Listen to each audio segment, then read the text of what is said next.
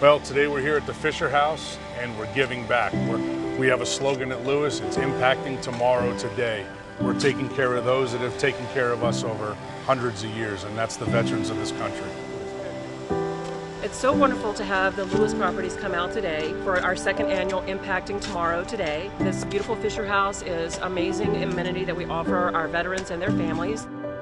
It's so impactful when we have volunteers that come out, especially this year when, you know, funds are low. And to, to have a partnership that is going to last a lifetime really means the world, not only to me, but also to our veterans and our families that we serve.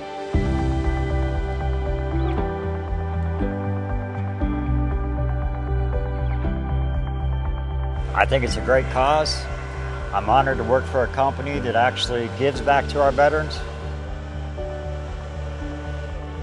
Knowing that there's a place like the Fisher House that houses and helps veterans and their families when they're seeking treatment is a, gives you a great feeling of compassion and, and I'm really happy to be a part of giving back to them.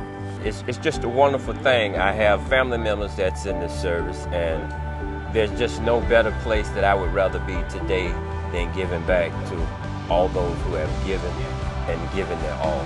My father was a U.S. soldier in the, in the Army back in the 60s and he spent a couple years in Vietnam and uh, I can't imagine what he went through, but it just, again, to be able to give back and pay homage to him and those that have served, those that are serving, and those that are going to serve, it's the greatest feeling in the world. It really makes a lot of difference. It's very impactful.